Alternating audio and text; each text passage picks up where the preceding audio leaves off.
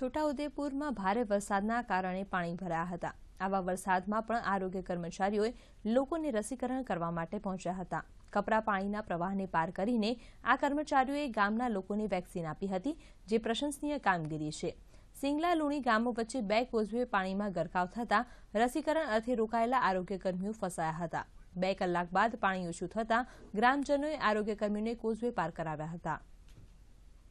પાટમાં પાણી આવી જતા ત્યાંનું નાડું ઉતરાઈ શકે તેમ ન હતું. અને દોઢ કલાક બાદ અમને ગામવાળાએ હાથે પકડીને બહાર કાઢ્યા છે.